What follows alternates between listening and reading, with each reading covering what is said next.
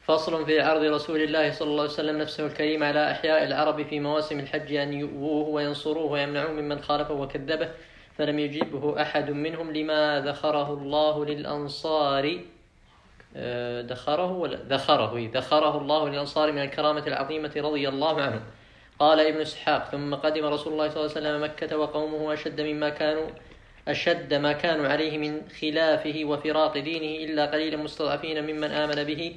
فكان رسول الله صلى الله عليه وسلم يعرض نفسه في المواسم إذا كانت على قبائل العرب يدعوهم إلى الله عز وجل ويخبرهم أنه نبي مرسل ويسألهم أن يصدقوه ويمنعوه حتى يبين عن الله عن الله ما بعثه به.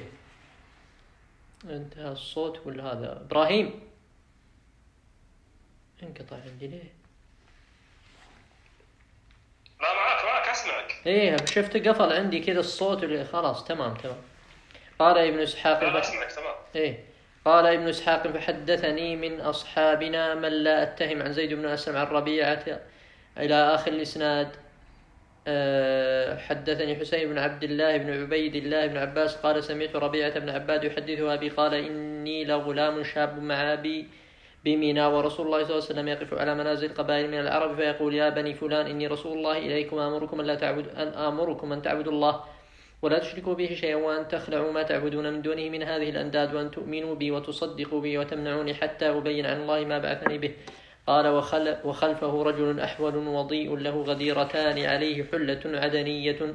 فإذا فرغ رسول الله صلى الله عليه وسلم من قوله وما دعا إليه قال ذلك الرجل يا بني فلان إن هذا إن هذا إنما يدعوكم إلى أن تسلخوا اللات والعزى من أعناقكم وحلفائكم من الجن من بني مالك بن أقيش. إلى ما جاء به من البدعة والضلال فلا تطيعوه ولا تسمعوا منه. قال فقلت لأبي يا أبت من هذا الرجل الذي يتبعه ويرد عليه ما يقول؟ قال هذا عمه عبد العزى بن عبد المطلب أبو لهب. لا حول وقد روى الإمام أحمد آه هذا الحديث عن إبراهيم بن أبي العباس إلى آخر الإسناد. آه أخبرني رجل يقال له ربيعة بن عباد من بني الديل. وكان جاهليا فأسلم. قال رأيت رسول الله صلى الله عليه وسلم في الجاهلية في سوق ذي المجاز وهو يقول يا أيها الناس قولوا لا إله إلا الله تفلحوا والناس مجتمعون عليه. وراءه ووراءه رجل وضيء الوجه أحول ذو غديرتين يقول إني صابئ كاذب يت إنه صابئ كاذب يتبعه حيث ذهب فسألت عنه فقال فقالوا هذا عمه أبو لهب. ورواه البيهقي من طريق محمد بن عبد الله الأنصاري إلى آخر الإسناد عن ربيعة الدؤلي. رأيت رسول الله صلى الله عليه وسلم بسوق ذي المجاز يتبع الناس في منازلهم يدعوهم إلى الله وراءه رجل ووراءه رجل أحول آه، تقد تقد وجنتاه. وهو يقول أيها الناس لا يغرنكم هذا عن دينكم ودين آبائكم. قلت من هذا؟ قالوا هذا أبو لهب. وكذا رواه أبو نعيم في الدلائل من طريق ابن أبي ذئب وسعيد بن سلامة بن أبي الحسام كلاهما محمد بن منكدر به نحوه. ثم رواه البيهقي من طريق شعبة بن أشهد عن سليم عن رجل عن شعث بن سليم عن رجل من كنانة قال رأيت رسول الله صلى الله عليه وسلم بسوق ذي المجاز وهو يقول يا أيها الناس قولوا لا إله إلا الله تفلحوا وإذا رجل خلفه يسفي عليه التراب فإذا هو أبو جهل وإن وإذا هو يقول يا أيها الناس لا يغرنكم هذا عن دينكم فإنما يريد أن تتركوا عبادة الله اللات والعزى. كذا قال في السياق أبو جهل وقد يكون وهما ويحتمل أن يكون تارة يكون كذا وتارة يكون كذا وأنهما كانا يتناوبان على إيذائه صلى الله عليه وسلم. قال ابن إسحاق وحدثني ابن شهاب الزهري أنه صلى الله عليه وسلم أتى كندة في منازلهم وفيهم سيد لهم يقال له مليح فدعاهم إلى الله عز وجل وعرض عليهم نفسه فأبوا عليه. قال ابن إسحاق وحدثني محمد بن عبد الرحمن بن حسين أنه أتى آه، كلبا في منازلهم إلى بطن منهم. يقال له بنو عبد الله فدعاهم إلى الله وعرض عليهم نفسه حتى إنه لا يقول يا بني عبد الله إن الله قد أحسن اسم أبيكم فلم يقبلوا منه ما عرض عليهم. وحدثنا بعض أصحابنا عن عبد الله بن كعب بن مالك أن رسول الله صلى الله عليه وسلم أتى بني حنيفة في منازلهم فدعاهم إلى الله فدعاهم إلى الله وعرض عليهم نفسه فلم يكن أحد من العرب أقبح ردا عليه منهم.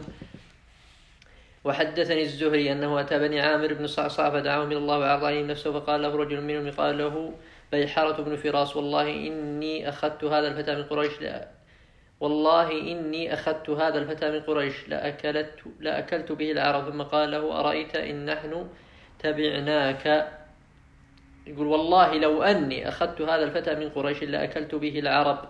ثم قال له أرأيت إن نحن تابعناك على أمرك؟ ثم أظهرك الله على من يخالفك يكون لنا الأمر من بعد. قال الأمر لله يضعف حيث يشاء. قال فقال له فنهدف نحورنا للعرب دونك؟ فإذا أظهرك الله كان الأمر لغيرنا. لا حاجة لنا بأمرك فأبوا عليه. فلما صدر الناس رجعت بنو عامر إلى شيخ لهم. قد كان أدركه السن حتى لا يقدر أن يوافي معه المواسم فكانوا إذا رجعوا إليه حدثوه بما يكون في ذلك الموسم. فلما قدموا عليه ذلك العام سألهم عما كان في موسم فقالوا جاءنا فتى من قريش ثم أحد ثم أحد ثم أحد بني عبد المطلب يزعم أنه نبي. آه، يدعون إلى أن نمنعه ونقوم معه ونخرج به إلى بلاد. قال فوضع الشيخ يدعى رأسه ثم قال يا بني عامر هل لها من تلاف هل لذنابها من مطلب؟ يقول هل لها من تلاف أي تدار تلاف أي تدارك؟ وقولها لذنابها من مطلب آه، مثل ضرب لما مثل ضرب لما فاته منها. آه، والذي نفس فلان بيده ما تقول ما تقولها إسماعيلي قط وإنها لحق فأين رأيكم؟ كان عنكم. وقال موسى بن عقبة بن عقبة عن الزهري فكان رسول الله صلى الله عليه وسلم في تلك السنين يعرض نفسه على قبائل العرب في كل موسم ويكلم كل شريف قوم لا يسألهم مع ذلك إلا أن يؤوه ويمنعوه ويقول لا أكره أحدا منكم على شيء. من رضي منكم بالذي يدعوه إليه فذلك ومن كره لم أكرهه إنما أريد أن أن أن تحرزوني مما يراد بي من القتل حتى أبلغ رسالة ها؟ أنا عندي فيما يراد. أن تحرزوني مما يراد. تحرزوني مما يراد إيه مما يراد بي من القتل حتى أبلغ رسالة ربي نعم. إيه حتى أبلغ رسالة ربي وحتى يقضي الله لي ولمن صحبني بما شاء فلم يقبله أحد منهم وما يأتي أحد وما يأتي أحدا من تلك القبائل إلا قال قوم الرجل قوم الرجل أعلم بها ترون أن رجلا يصلحنا. وقد أفسد قومه ولفظوه وكان ذلك مما ذكره الله للأنصار وأكرمهم به. وقد روى الحافظ أبو نعيم من طريق عبد الله بن الأجلحي ويحيى بن سعيد الأموي كلاهما محمد بن سائب الكلبي عن أبي صالح إلى آخر الإسناد عن عن ابن عباس عن العباس. قال قال رسول الله صلى الله عليه وسلم لا أرى لي عندك ولا عند أخيك منع فهل أنت مخرجي؟ فهل أنت مخرجي إلى السوق غدا حتى تعرفني منازل قبائل الناس وكانت مجمع العرب؟ قال فقلت, فقلت هذه كندة ولفها وها وهي أفضل من يحج البيت. آه، إيش معنى لفها هنا؟ يقول ليست ما هو مكتوب ليست في اللفظ. هذه كندة ولفها وهي أفضل من يحج البيت من اليمن وهذه منازل بكر بن وائل وهذه منازل بني عامر بن صعصعة. فاختار لنفسه قال فبدأ بكندة فأتاهم فقال ممن القوم؟ قالوا من أهل اليمن. قال من أي اليمن؟ قالوا من كندة. قال من أي كندة؟ قالوا من بني عامر بن معاوية. قال فهل لكم إلى خير؟ قالوا وما هو؟ قال تشهد أن لا إله إلا الله وأن محمد رسول الله. وتقيمون الصلاة وتؤمنون بما جاء من عند الله قال عبد الله بن لجع حدثني أبي عن أشياخ قومي أن كندة قالت له إن ظفرت إن ظفرت تجعل لنا الملك من بعد. فقال رسول الله صلى الله عليه وسلم إن الملك لله يجعله حيث يشاء. فقال لا حاجة لنا فيما جئتنا به. وقال الكلبي فقالوا أجئتنا لتصدنا عن آلهتنا وننابذ العرب الحق بقوم فلا حاجة لنا بك. فانصرف من عندي فأتى بكر بن وائل. فقال من من القوم قالوا من بكر بن وائل فقال من أي بكر بن وائل؟ قالوا من بني قيس بن ثعلب فقال كيف العدد؟ قالوا أكثر من الثرى. قال فكيف المنع؟ قالوا لا منع جاءونا جاورنا فارس فنحن لا نمتنع منهم ولا نجير عليهم. قال فتجعلون الله عليكم من هو أبقاكم حتى تنزلوا منازلهم وتنكحوا نساءهم وتستعبدوا أبناءهم. أن تسبحوا الله ثلاثا وثلاثين وتحمدوا ثلاثا وثلاثين وتكبروا أربعا وثلاثين. قالوا ومن أنت؟ قال أنا رسول الله. ثم انطلق فلما ولى عنه قال الكلبي وكان عمه أبو لهب يتبعه فيقول الناس لا تقبلوا قوله. ثم مر أبو لهب فقال هل تعرف هذا الرجل؟ قال نعم هذا في الذروة منا فعن أي شيء تسألون. فأخبروه بما دعاهم إليه وقالوا ما يزعم أنه رسول الله؟ قال ألا لا ترفعوا بقوله رأسا فإنه مجنون. يهدي من أم رأسه قالوا قد رأينا ذلك حين ذكر من أمر فارس ما ذكر. الله المستعان. قال الكلبي فأخبرني عبد الرحمن العامري عن شيخ من قومه قالوا أتانا رسول الله صلى الله عليه وسلم ونحن بسوق عكاظ. فقال من القوم قالوا من بني عامر بن صعصع. قال من أي بني عامر بن صعصع؟ قالوا من قالوا بنو كعب بن ربيع قال كيف المنع؟ قلنا لا يرام من لا يرام ما قبلنا ولا يصطلى بنارنا. قال فقال لهم إني رسول الله صلى الله عليه وسلم وأتيتكم لتمنعوني حتى أبلغ رسالة ربي ولا أكره ولا أكره أحدا منكم على شيء. قالوا ومن أي قريش أنت؟ قال من بني عبد المطلب. قالوا فأين أنت؟ من عبد مناف. قال هم أول من كذبني وطردني. قالوا ولكننا لا نطردك ولا نؤمن بك وسنمنعك حتى تبلغ رسالة ربك. قال فنزل إليهم والقوم يتسوقون إذا أتاهم بيحارة بن فراس القشيري. فقال من هذا الرجل أراكم عنده أنكره قال محمد بن عبد الله القرشي. قال فما لكم وله؟ قالوا ويزعموا لنا أنه رسول. فطال علينا أن نمنعه حتى يبلغ رسالة ربه. قال ماذا رددتم عليه؟ قالوا بالرحب والسعة. نخرجك إلى بلادنا ونمنعك ما نمنع به أنفسنا. قال بإحارة ما أعلم أحدا من أهل هذه السوق يرجع بشيء أشر من شيء ترجعون به بدءا.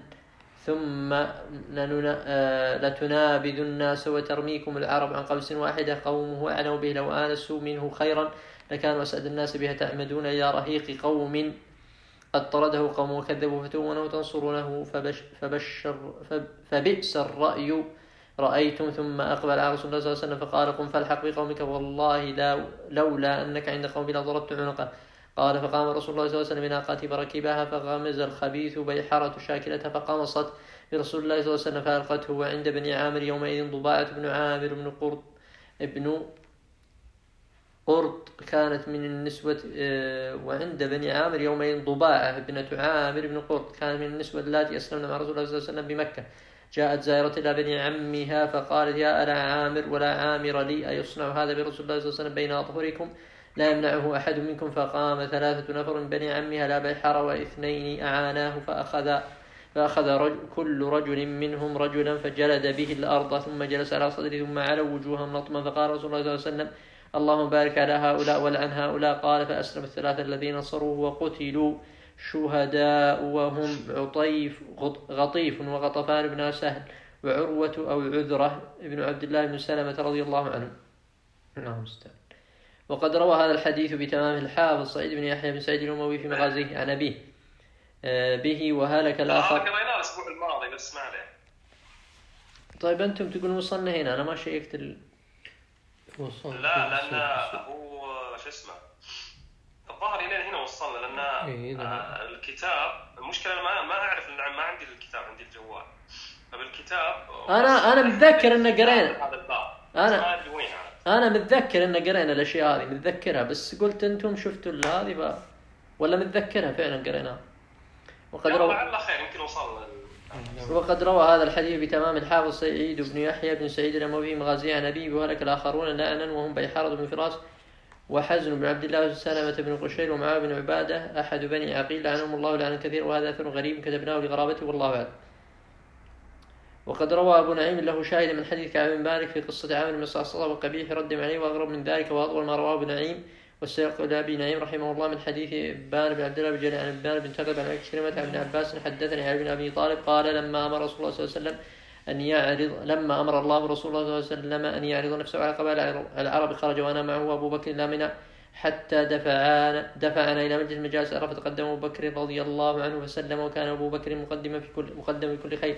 وكان رجلا نسابة فقال ممن القوم قالوا من ربيع. قال وأي ربيعة أنتم آه أنتم من آه أنتم أمن هامها أم من لهازمها؟ قالوا بل من هامتها العظمى. قال أبو بكر فمن أي هامتها العظمى؟ قال أنتم. فقالوا ذهل الأكبر قال لهم أبو بكر منكم عوف الذي كان يقال لهم لا حر بوادي عوف قالوا لا قال فمنكم بسطام بن قيس بن مسعود أبو اللواء ومنتهى الأحياء قالوا لا قال فمنكم الحوفزاني بن شريك قالت قاتل الملوك وسالبها أنفسها قالوا لا قال فمنكم جساس بن مرة بن ذهل حامد ذمار ومانع الجار قالوا لا قال فمنكم المزدلف صاحب العمامة هذه ما قرناها نعم. صاحب العمامة الفردة قالوا لا قال فأنتم أخوال الملوك من كندة قالوا لا. قال فأنتم أصهار الملوك من لخم؟ قالوا لا. فقال لهم أبو بكر رضي الله عنه فلستم بذهل الأكبر بل أنتم ذهل الأصغر. قال فوثب إليه منهم غلام يدعى دغفل بن بن حنظلة الذهلي حتى بقل وجهه فأخذ بزمام ناقة أبي بكر وهو يقول إن إن على سائلنا أن نسأله والعب لا نعرفه أو نحمله. يا هذا إنك سألتنا وأخبرناك ولم نكتمك شيئا ونحن نريد أن نسألك فمن أنت؟ قال رجل من قريش. فقال غلام بخ بخ أهل السودة والرياسة قادمة العرب وهدأتها فمن أنت من قريش؟ فقال رجل من بني تيم بن مرة فقال غلام أمكنت والله والرامي من سواد الثغرة؟ أفمنكم قصي بن كلاب الذي قتل مكة المتغلبين عليها؟ وأجلى بقيتهم وجمع قوم من كل أوب حتى أوطاهم مكة ثم استولى على الدار ونزل قريشا على من قريشا منازلها ثم استولى على الدار ونزل قريشا منازلها فسمته العرب ذلك مجمعا وفيه يقول أليس أبوهم كان يدعى مجمعا؟ به جمع الله القبائل من فهري. فقال أبو بكر لا. قال فمنكم عبد عبد مناف الذي انتهت إليه الوصايا وأبو الغطاري في السادة. فقال أبو بكر لا. قال فمنكم عبد عمرو بن عبد مناف هاشم بن عبد مناف هاشم الذي هشم الثريد لقومه وأهل مكة آه، آه، وأهل مكة مسنتون أو إيه مسنتون ففيه يقول الشاعر عمرو العلا هشم, هشم الشريد الثريد لقومه ورجال مكة مسنتون عجاف آه، سنوا إليه الرحلتين كليهما عند الشتاء ورحلة الأضياف كان قريش بيضة فتقلقلت. فالمخ فالم فالمخ هذه لا. فالمح المح فالمح خالصه لعبد مناف الرائشين وليس بيعرف رائش والقائلين هلم للأضياف والضاربين الكبش يبرق بيضه والمانعين البيض بالأسياف البيض بالأسياف والبيض بالأسياف لله درك لو نزلت نزلت بدارهم منعوك من أزل أو من قراب فقال أبو بكر لا قال فمنكم عبد المطلب شيبة الحمد وصاحب عير مكة ومطعم طير السماء والوحوش والسباع الفل الذي كان وجهه قمر يتلالى في الليل الظلمة قال لا. قال فمن أهل الإفاضة أنت قال لا قال فمن أهل الحجابة أنت قال لا قال فمن أهل الندوة أنت قال لا قال فمن أهل السقاية. أي قال لا. من أهل السقاية قال لا قال فمن أهل الرفادة أنت قال لا قال فمن المفيضين بالناس أنت قال لا. ثم جد أبو بكر رضي الله عنه زمام ناقته من يده فقال له الغلام صادف درء السيدر أن يدفعه يهيضه حينا وحين يصدعه. ثم قال ما والله يا أخ قريش لو ثبت لو آه، يا أخا قريش لو لو ثبت لخبرتك أنك من زمعات قريش ولست من الذوائب. قال فأقبل رسول الله صلى الله عليه وسلم يتبسم. قال علي فقال فقلت له يا أبا بكر لقد وقعت من الأعرابي على باقيات. فقال أجل يا أبا الحسن إنه ليس من طامة إلا و من طامة إلا فقال يا أبا الحسن إنه ليس من طامة إلا وفوقها طامة والبلاء موكل بالقول. توكل. على الله تقرا برليوي ولا؟ يلا طيب. بس قريب. قال ثم انتهينا إلى مجلس علية السكينة والوقار. عليه السكينة والوقار. وإذا مشايخ لهم أقدار وهيئات. فتقدم أبو بكر فسلم قال علي وكان أبو بكر مقدما في كل خير. فقال لهم أبو بكر إما القوم. فأنتم لو تلاحظون لما الرسول صلى الله عليه وسلم يجي يعرض نفسه على القبائل في نقطة لو تلاحظون أغلبهم أو كثير منهم يسألونه يقولون تملكنا بعدك؟ فهو يرفض. يعني هم يعني في في موضوع يعني موضوع الموضوع هذه رسالة لهم انه والله الموضوع ما هو موضوع ملك ولا موضوع نعم. يعني دول ولا دولة لا موضوع موضوع رسالة. فسبحان الله يعني هذا تلاحظ يعني موجود في كثير من القبائل لاحظ هالشيء مكرر. والرسول صلى الله عليه وسلم سبحان الله لو إنه حدد يعني قبل أنا دائما أفكر يعني ليش الرسول صلى الله عليه وسلم ما حدد؟ قال خلاص أنا آه، بعدي يمسك يتولى الأمور أبو بكر. ليش ما صرح؟ فلو تلاحظ إنه لو صرح كان الموضوع هذا صار يعني اللي هو اللي موضوع التوريث موضوع إنها كأنها تصير تصير آه، يعني موضوع ملك ما هو نبي. طيب. نكمل؟ يتوكل. يقال ثم انتهينا إلى مجلس عليه السكينة والوقار إذا مشايخ لهم أقدار وهيئات فتقدم أبو بكر فسلم قال علي وكان أبو بكر مقدما في كل خير فقال له أبو بكر ممن القوم قالوا من بني شيبان بن ثعلبة. فالتفت إلى رسول الله صلى الله عليه وسلم فقال بأبي أنت وأمي ليس بعد هؤلاء من عز في قوم. وفي رواية ليس وراء هؤلاء عذر من قومهم وهؤلاء غرر في قومهم وهؤلاء غرر الناس أو غرر في قومهم وهؤلاء غرر الناس. وكان في القوم مفروق. وكان في القوم مفروق بن عمرو وهانئ بن قبيصة والمثنى بن حارثة والنعمان بن, بن شريك. وكان أقرب القوم إلى أبي بكر مفروق بن عمرو وكان مفروق بن عمرو قد غلب عليهم بيانا ولسانا. وكانت له غديرتان تسقط على صدره. فكان أدنى القوم مجلسا من أبي بكر. فقال له أبو بكر كيف العدد فيكم؟ فقال, فقال له إنا لنزيد على ألف ولن تغلب ألف ولن تغلب ألف من قلة. فقال له فكيف المناعة فيكم؟ فقال علينا الجهد ولكل قوم جد.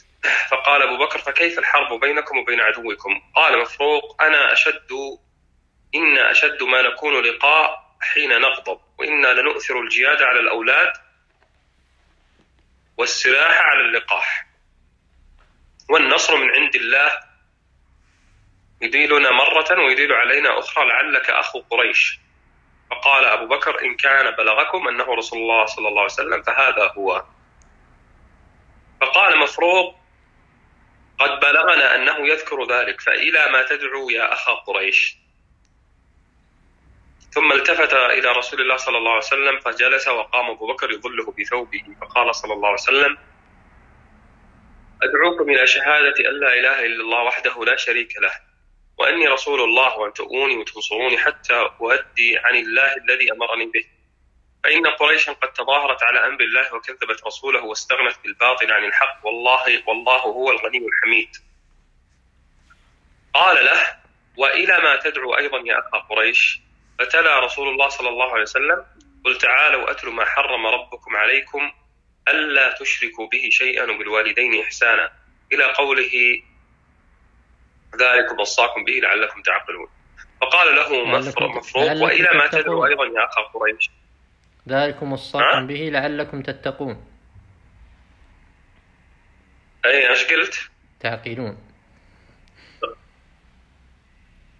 تعقل مكتوب مكتوب عندي تعقلون. تتقون هي؟ تتقون. طيب مو مشكلة. أنا أقرأ من الجوال لأن هذه النسخة في الجوال. طيب نتأكد منها بس؟ في أحد يقدر يتأكد منها؟ هذه سورة النساء. هي لعلكم تتقون في الانعام في آخر الآيات تتقون. اي اي